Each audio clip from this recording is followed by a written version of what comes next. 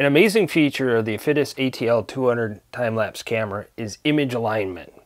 So if I wanted to remove the batteries or take the card out for downloading, more than likely I have to move the camera.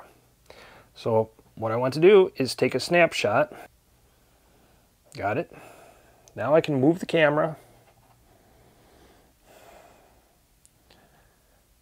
Under Tools, Image Alignment,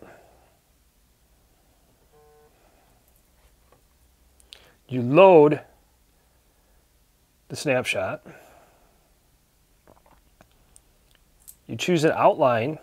I'm going to go with a white outline so it contrasts the dark colors here. And I'm going to go with a three-weight line and turn on image alignment. This builds a wireframe outline over my current view based upon the previous view. So now I just simply move the camera so that the elements line up and I will have a seamless time-lapse video. Once a wireframe is overlaid, go back to the main app screen and the image shifts into perfect position. Thanks for watching this video. Please make sure you explore the rest of our site for more camera features and tutorials.